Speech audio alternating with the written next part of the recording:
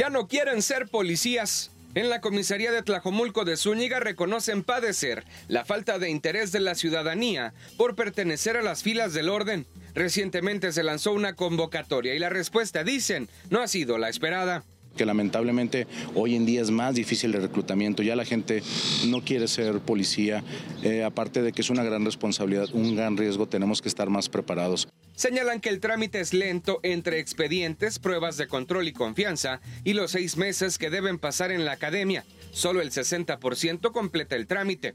Otra problemática es los malos elementos. Recientemente un comandante fue detenido y vinculado a proceso por el delito de homicidio. Nosotros hemos venido trabajando en la depuración de la corporación de que preferimos quedarnos con pocos elementos pero buenos.